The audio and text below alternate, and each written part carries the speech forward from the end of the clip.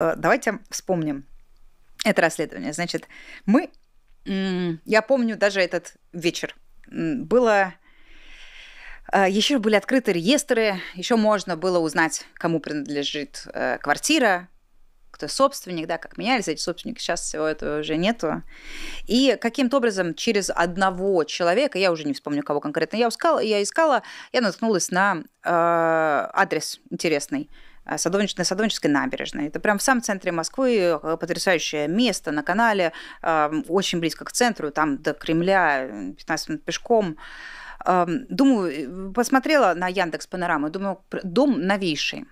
И знаешь, как бывает, ну вот ты э, пытаешься сопоставить там какой-то образ и воспоминания о Москве, да, о, о том, как вот устроена улица, как ты там, не знаю, ну, проезжаешь мимо, понятно, что за, за, за, за всю свою жизнь проезжал мимо много раз. Я думаю, почему я не узнаю? Но вот я смотрю на фотографию, э, на этот дом, на Яндекс Панорамах, а почему-то не узнаю. А я в Москву тогда ездила э, регулярно, там, на несколько месяцев, ну, какая странная штука. И начинаю сверять, и понимаю, что это абсолютно новый дом. Он э, визуально чем-то похож на старый, который стоял на этом месте. Ну, типа, ну что-то не то. Э, знаешь, вот как какой-нибудь Adidas, Abibas, вот это вот, как будто какая-то китайская подделка старого дома, который, который там стоял. И э, я начала читать про этот дом, и, и выяснилось, что Действительно, дом – это новодел, попытка повторить э, то, что там было, а там была усадьба Бахрушина, купца. Это, это был даже не дом, это был целый квартал. И, но самый известный там был вот этот угловой дом, э, на Садовнической, на, на Садовнической набережной, э, потому что там была очень красивая лестница внутри, э, круговая.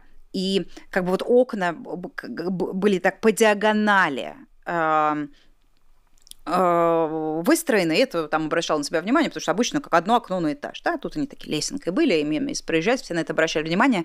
Этот дом есть на э, э сотнях старинных фотографий Москвы, э, он до революционный, очевидно, ну, пережил революцию, он пережил Ленина, Сталина, войну, Э, все, что было потом в Советском Союзе, он пережил перестройку, он пережил разруху 90-х, он пережил абсолютно все, но не пережил Путина. И э, дом, так как дом этот, он очень много обсуждался в СМИ, было очень много скандалов. Там где-то на соседней улице, не на соседней улице, а вот на другом конце этого квартала что-то обрушилось. И год был, наверное, 2008-2007, что-то обрушилось. И э, Лужков приезжал, Ресин, и говорю, вот три, три рабочих погибло, они Шку в кепке, Рейсин тоже в кепке. Вот, говорит, какая катастрофа, вот так все плохо, э, трагедия, погибло три каких-то рабочих, которые там были. Но мы сейчас, конечно же, все э, приведем в нужный вид, мы сейчас все восстановим. Подождите, подождите секундочку. Но а, еще раз, а дело происходит в там трех домах от искомого вот этого углового дома. Это какая-то, это даже не пристройка, это еще если мы по номерам считаем, то если кто-то, я ничего не помню номера, там 80-й какой-нибудь, то это будет 84 или 86 что-то такое. И, значит, а потом э, история вся эта исчезает из вида и возвращается э, через несколько месяцев, только когда э, журналисты обнаруживают на месте этого дома и обрушившегося, и углового красивого Бахрушина на, э, на канале обнаруживают э, пустырь они каким-то образом втихаря, э, вместо того, чтобы отремонтировать секцию, обрушенную в 300 метрах эм, от э, главного углового дома, решили снести весь квартал. Весь абсолютно квартал. Ну, естественно, вот все, все активисты Архнадзора, все-все-все, кто имеет какое-либо отношение к московской к, к, к архитектуре, хватались за голову, рвали волосы. Ну, как так? Ведь по-хорошему нам же нужно больше всего беречь такие здания. Э, они не то чтобы на дороге валяются.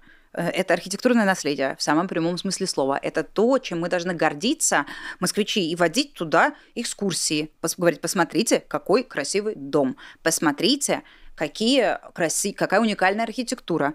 Изучите, что здесь было сто лет назад, изучите, что здесь было 50 лет назад, посмотрите, здесь жили эти люди. А вот этим вот занимался купец, а потом было то-то, а потом было еще что-то. А потом, да, да без разницы что, даже там были коммуналки. Да, потом, это все равно интересно. Это все равно здание, которое э, было свидетелем смены эпох и, и э, веков и всего. Ну вот, э, но Лужков с Ресиным э, все это снес. Они сказали, что будут э, строить дом для льготников. На самом деле, э, нас можно было догадаться, что что-то не так, естественно, уже тогда. Но все равно это какой-нибудь там вот восьмой год, седьмой. Люди, видимо, еще не так привыкли к абсолютно вот бесчинству этому чиновничему. И э, ну ладно, как бы для льготников, для льготников. Ну, ты думаешь, льготники, это, наверное, так, те, вот кто ютиться там восьмером, да, в квартире где-нибудь в центре, и вместо того, чтобы их расселять из ветхого жилья, тоже, может быть, где-нибудь в историческом центре Москвы, и выселять в Бутово, как это происходит сейчас, их выселят, ну, типа, не, выселят не так далеко от дома. Вот они где-то там на Павелецкой живут в полуразрушенном э, доме, а их вот ну, неподалеку, останутся на районе, э, грубо говоря. Но, ну, естественно, так не бывает.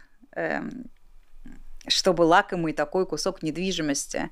Дом получился, ну, не то чтобы очень красивый, ну, нормальный дом, хороший, элитный. И там начинается это расследование, которое рекомендую вам пересмотреть. Там Алексей идет вдоль стены этого дома, такой желтенький, там стучит по нему и говорит, вот, посмотрите, как, как, каков э, красавец, посмотрите, какой хороший дом, квадратный метр, там здесь стоит сколько-то, и потом мы показываем его э, со всех ракурсов. Э, рекомендую э, посмотреть расследование, хорошее.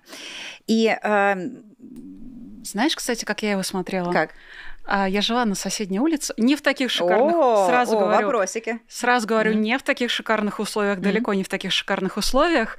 И я там поселилась уже, mm-hmm. когда этот дом существовал, mm-hmm. соответственно, я не была настолько в курсе mm-hmm. всей этой истории, и это буквально было погружение, очень иммерсивное погружение а, в реальность. Да, почти при прикоснулась прекрасного, можно сказать. Да, и, ну, кроме того, э, по сути, то, что осталось от наследия Бахрушина, по крайней мере, в этом районе, это, собственно, собственно, улица Бахрушина, mm-hmm. которая идет ровно параллельно mm-hmm. Садовнической набережной. Mm-hmm. А вот его дом да, а чё? целый квартал, да, там было, ничего не осталось. Ну вот, естественно, короче, история, к чем история заканчивается? Тем, что вместо льготников там расселили чиновников, которые якобы нуждаются в жилье. И при этом ни один из них, естественно, ни в чем ни хрена не нуждается.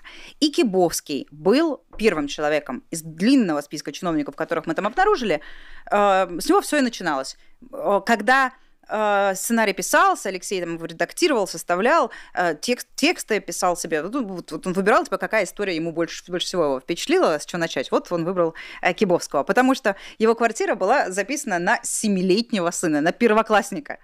А квартиры, ну, там, 140 квадратных метров, стоят там какие-то за сотню миллионов рублей.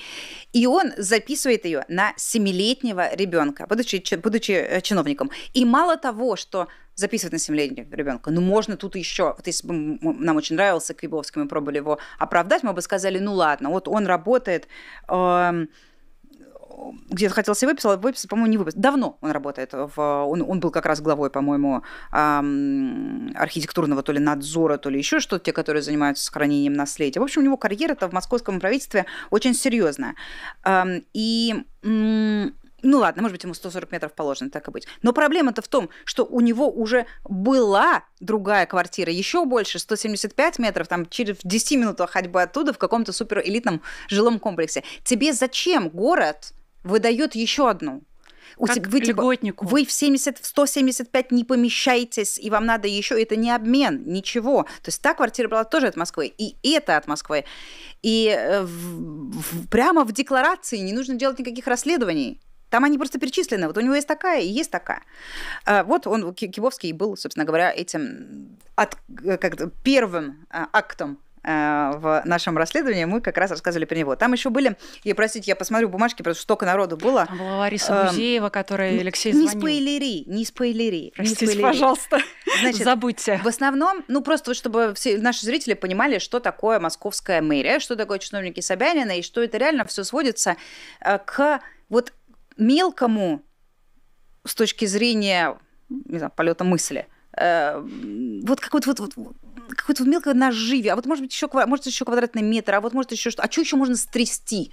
Да, с государства, с налогоплательщика, а может быть, вот машину еще, а может быть, еще что-то. Вот это вот, вот все. И то, что сейчас Кибовского взяли на взятки 100 миллионов, ну это просто, господи, ну это смешно. У него таких этих контрактов на госзакупок мебели в какой-нибудь там ДК, библиотеку или еще что-то, каждый день он подписывал по 50 штук. Ну, господи, они выбрали это на 100 миллионов.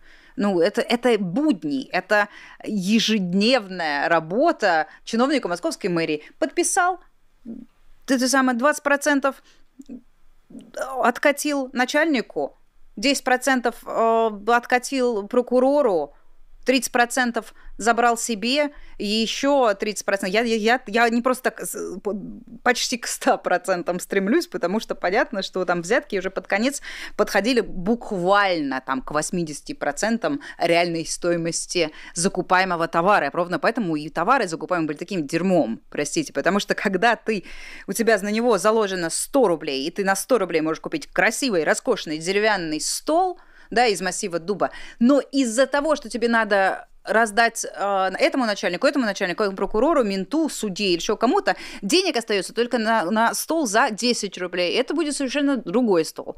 Отвлеклась. Все, что хотела сказать, что это все коррупция, это система, да, это не один эпизод. Это целая вот такая вот э, разветвленная система, которая отравляет потихонечку там все больше и больше и больше э, ветвей э, власти, как там конкретных людей, кабинетов, департаментов и всего прочего. Там же Кискин Артур Львович, кто такой, непонятно. Глава фонда капитального ремонта многоквартирных домов города Москвы. Вот все, кто живет э, в многоквартирном доме, если у вас около э, этого самого мусоропровода грязно, облуплено и так далее, все вопросы к Кискину Артуру Львовичу, по крайней мере, на, на момент э, расследования. Я не перепроверяла, кем они являются сейчас. У него уже была квартира по 200 метров, тоже в элитном жилье, но выдали ему. Елена Книжевская, председатель комитета по архитектуре градостроительства Москвы. Короче, там было очень много собянинских именно чиновников, и доходило до какого-то просто вот, ну, ну просто, господи, ты, я помню, я все гуглила, думала, кто ты? Вот, ну, просто какие-то непонятные бомжи, там, заместитель, заместителя, заместителя, заместителя. Кузнецова Наталья, заместитель начальника управления координации деятельности комплекса градостроительной политики Москвы градостроительной политики и строительства Москвы. Шахмурадова Сабина, начальник управления координации работ по объектам землеустройства. Ну просто что? И одной 178 квадратных метров э, квартиру там э, выделили, а другой 144. И кроме мэрии, там была еще куча чиновников э, совершенно разных. Какой-то ФСБшник был, был Школов Евгений Михайлович, соответственно, сын. А нет, не сын сам, э, бывший путинский помощник, эм, была... Кого-нибудь, кто здесь был еще интересный? Абрамченко Виктория была, она тогда была главой Росреестра, за что мы сильно хлестали ее по щекам, потому что она удаляла и вымарывала из Росреестра э, важные персональные данные, и из-за этого мы не могли делать свои расследования, и Чайка превращался в Волсдус, э, и Ефьяу-9, и она собственноручно уничтожила важнейший, важнейший государственный реестр. Вот она там была. Она после этого уже умудрилась побыть э, в новом правительстве Мишустина вице-премьером, и сейчас уже она перестала быть вице-премьером, и бог знает, где, э, где сейчас находится. Эм, ну и, конечно, вот это Лариса Гузеева. Лариса Гузеева. Ларисе Гузеевой тоже досталась огромная квартира. Алексей ей звонил. И э, что самое смешное, в отли... то есть если у этих хотя бы есть какие-то номинальные дурацкие да, должности, еще какие-то звания, у этой буквально досталось за то, что она в Инстаграме писала, что Москва так похорошила при Собянине.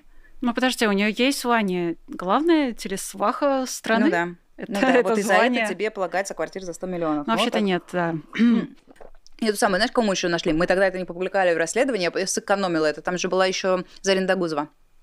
А. Ее мы э, стратегически в основное расследование не, не включили. Мне кажется, в этом была логика, но я уже не вспомню. Чтобы просто потом про нее сделать отдельное, потому что показалось, что она эм, заслуживает этого. Она, безусловно, заслуживает это. Глава Ростуризма, да? Да, глава Ростуризма. И это расследование уже делала я. Алексей уже сидел, ну, в смысле, снималась в нем. Э, я, Алексей, уже сидел. И эм, это было, когда э, Ждановского же отца посадили... Mm-hmm за какие-то махинации где-то там ну, за полярным кругом, да, да, да, да, да, что он якобы кому-то там выдал, подписал документ, который позволял получить некой а, вот э, жительницы севера квартиру типа на 20 метров больше, чем положено. Что-то там была какая-то такая фабула, абсолютная фигня, все абсолютно фейк, естественно. Да просто вот для понимания нашим зрителям, а, Зарина Догузова как бы как глава Ростуризма путешествовала, mm-hmm. и ее outfit ну, обычно ее лук, да, да. набор одежды, аксессуаров, украшений, а, я уверена, что на каждый день превышал mm-hmm. стоимость вот э, любого дома. Любой такой квартиры, да. Любой такой да. квартиры. И мы как бы сравнивали. Мы посмотрели, посмотрите, за что посадили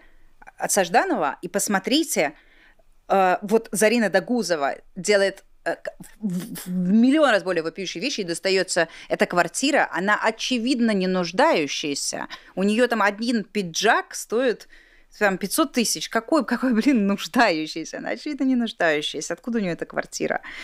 Вот, и э, никаких ответов мы, естественно, не получили, а выяснилось еще, что Адагузову и засекретили еще в э, Росреестре, и ее соседка Виктория Абрамченко, которая отвечала за Росреестр, видимо, э, видимо, э, решила, что Дагузову положено больше, она даже себя не засекретила, а Дагузову Дагузова засекретила. Вот такое расследование 2019 2019 года. Рекомендую пересмотреть. А если возвращаться к Кибовскому, то я бы, если честно, не придавала этому такого большого значения. Я видела много аналитики на тему того, что вот это удар по команде Собянина, ну, то есть он не настолько команда Собянина. Конечно, они проработали много раз, много, много лет вместе, но вот он должность свою не сохранил, был такой в ранге советника. Очевидно, что у них разные абсолютно медийные стратегии, да, Собянин не зигует и притворяется камушком, а этот, наоборот, зига на зиге, сфотографировался на, на фоне какого-то самосвала с буквой Z, съездил на фронт, сфотографировал, ну да, вот обилие, вот именно пиар, вот не просто делает, а еще и вот просто кричит из каждого утюга. Как, слышал, слышал, как он стихи читал? О, да, О, Константина Симонова. Да, да, да, да, у Манучарова, у Манучарова в программе «Эмпатия Манучи», э, «Царство небесное» на, на, на YouTube она больше не выходит, и я по ней скучаю, эм, потому что она была просто абсолютно отвратительная, и ее было очень развлекательно смотреть. Ну вот там, да, он читал, э, там, там Кибовский читал стихи. Ну, в общем, близкий, значит, что наш зритель главной политической кнопки YouTube э, должен знать эм, про э, то, кто действительно близок к Собянину. Собянину действительно близка Анастасия Ракова, например. Вот если бы ее... Про нее тоже есть расследование. Посадить, да. Да, про нее тоже. Я тебе говорю, я реально превращаюсь вот в этого человека, который, э, который не может э, прекратить цитировать сам себя. Э, ну, Ракова это серьезно. Значит, эм, Анастасия Ракова сейчас вице-мэр по социальному чему-то, социальное обеспечение, естественно, социальному. За бедных она и за, за бедных москвичей, страдающих, несет ответственность. И э, она, до, а до этого она была главой Собянинского аппарата, то есть вообще просто самым ключевым человеком, который отвечает за ежедневную жизнь Сергея Семеновича. Вот если посадить Анастасию Ракову, что очень сделать нужно, вот тогда мы могли говорить об ослаблений башни Собянина. А Ракова это, мало того, что две у нее шикарные должности были в мэрии Москвы, так до этого она в Тюмени работала с Собянином. В Тюмени он, по-моему, подобрал ее в, 2000, в каком-то там в 98 году, что ли, в 2000-м, то есть ей было лет 20, мне кажется, не больше. И с того момента вот она до сегодняшнего дня как приклеилась к этому Собянину, и куда бы Собянин ни пошел, везде эта Ракова за ним ездит. Вот ее надо арестовать. Есть за что? Допустим, за эм, незаконное обогащение. Да? Вот можно к ней прийти и сказать, Анастасия, откуда у тебя, цитируя наше расследование 2015 года, а, вышедшее в форме игры а, с, на сайте «Медузы», где нужно было оценить, а, сколько стоит украшение чиновницы, там была там была Анастасия Ракова, и мы нашли фотографии ее на каком-то утреннем заседании чего-то там, какого-то комитета почему-то там по мэрии, куда она приперлась в эм, колье и в сережках граф, да, бриллиантов за, за полтора миллиона рублей. И Господи, какие полтора? Полтора это у него был Ван Клифф. Нет, за восемь с половиной граф был. Ну, в общем, она постоянно приходила в каких-то очень дорогих То есть украшениях. Туда, в таких украшениях, не то чтобы дорогих, понятно, что восемь с половиной миллионов – это очень дорогие украшения, так они еще и были ужасно неуместными. Ну, потому что, ну, есть же какой-то протокол, есть же то, что ты надеваешь на вечерний выход э, в рестораны, в театры, это ты не носишь на работу, если, прости меня, пожалуйста, ты э, с утра у тебя встреча с главами собесов, потом с э, в ЖЭК, потом, потом... а потом с однопартийным, ну, то есть, ну, нет, она это делает, точно обращала на это внимание. Но я боюсь, что с Анастасией Раковой ничего не случится, и никто ее не посадит, потому что даже если Собянин выпадет из обоймы, она не выпадет. И у меня есть объяснение, почему. Почему? Я уверена, что хоть какой-то, э, хоть что-то новое интересное обсудим. Из-за своего гражданского супруга. Э, а как же слухи о том, что у нее ребенок от Собянина? Нет. Ну, в смысле, может быть, и да, но мы подтверждение этому не нашли, искали долго, не нашли. Э, я не буду интересничать. Э, совершенно другая причина, почему Ракова никогда не выпадет из обоймы. Значит, ее, у нее формально супруга нету, декларация ее пустая. Ну, то есть она его, соответственно, скрывает, потому что по факту она много лет э, живет и, ну, как минимум, воспитывает ребенка совместного вместе с совершенно другим э, человеком. Его зовут Кришемир Филиппович. И э, имя вам его, скорее всего, не знакомо, а э, имя это очень важное, интересное. Это один из владельцев и управляющих компании Велесстрой. Велесстрой, в свою очередь, знаменит тем, что именно они последние лет 10 строят дворец Путина все это, э, все, если вы вспомните, э, какие-то вот утечки сюжета Дворца Путина, очень много людей писало и рассказывало о том, что на стройке очень много иностранцев. Этими они не говорят по-русски. И мы даже где-то в эфирах комментировали, что, мол, да, это, в этом есть смысл, ну потому что, ну а чего иностранцу до дворца Путина? Ему пофиг, это же не его деньги, правильно? Он же налоги не платит, а, а зарплата хорошая, там график нормальный. Почему бы не поработать? Так вот, эти все иностранные строители, это так или иначе связаны с Велестроем, сербы и хорваты.